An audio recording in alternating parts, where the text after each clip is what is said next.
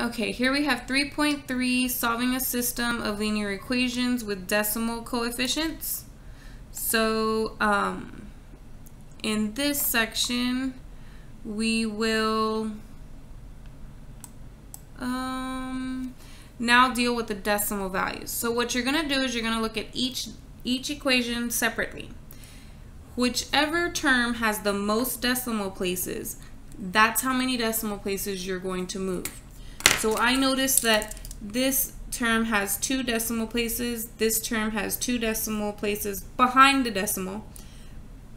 This decimal has two decimal places, which means I'm going to have to move the decimal two places for every single term. What you do to one side, you have to do to the other. It has to be done to all the terms.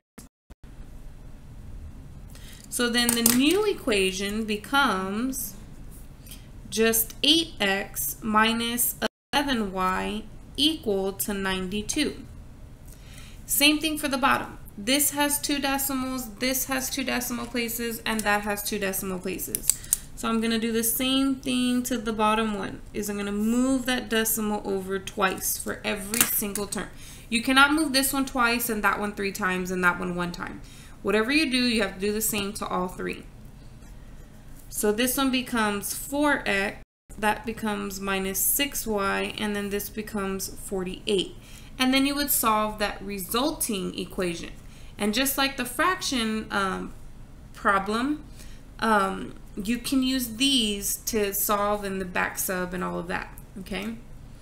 So again, I like to manipulate, I do not want to manipulate the top one this time because I can't multiply 8 by something to get 4. I would have to divide. And I can't divide everybody by 2 because this guy's not divisible by 2.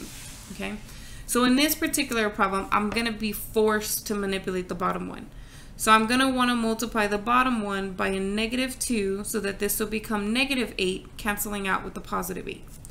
So that means I need to rewrite the whole top one. And the more you have to rewrite, the chances you are to make a mistake. So always make sure you rewrite correctly. Here I have negative 8x, a negative 2 times a negative 6y will be positive 12y. And the negative 2 times negative 4, or times 48 is negative 98.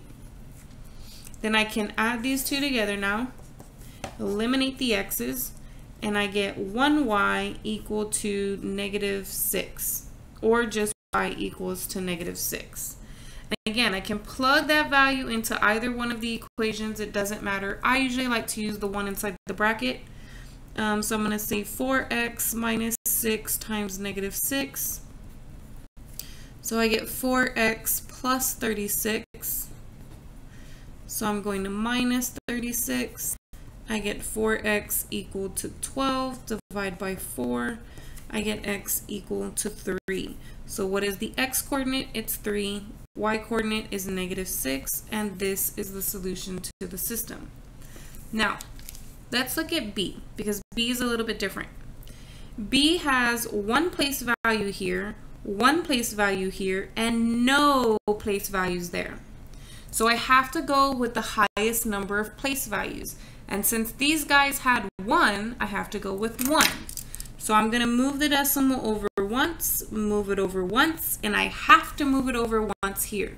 When it's just a 7, it's a whole number 7, which means the decimal is invisible, but it is behind the 7. So when I move it over 1, I've got to fill in this new spot with a 0. So the new equation for the top becomes 28x minus 6y equal to 70. Similarly for the bottom, I've got one decimal place here, one decimal place here, none here. I have to go with the most decimal places, which was one. So move this guy over one, move that one over one, move the invisible um, decimal over one. So then this equation becomes negative 7x plus 14y equal to 70. Now again here, I'm stuck in the fact that I can't, you know, shrink that one down to a 7. So I am going to have to multiply the bottom equation. And I'm going to go ahead and multiply the bottom equation by 4. And I want to keep it positive 4 because then that would make this negative 28 and this is already a positive 28. So I'm going to rewrite the first one and then now I'm going to multiply the bottom one. So negative 28 um, plus 56y equal to 280. Then I'm going to add these guys together. That's going to cancel. I'm going to end up with 50y equal to 350.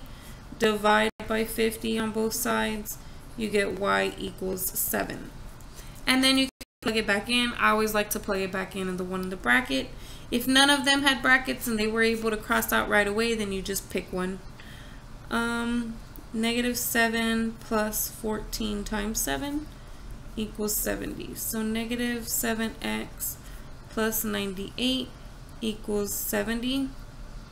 I think that's right. Let me check just because I always do weird things sometimes. Okay, good. It is 98. Then I'm going to minus 98.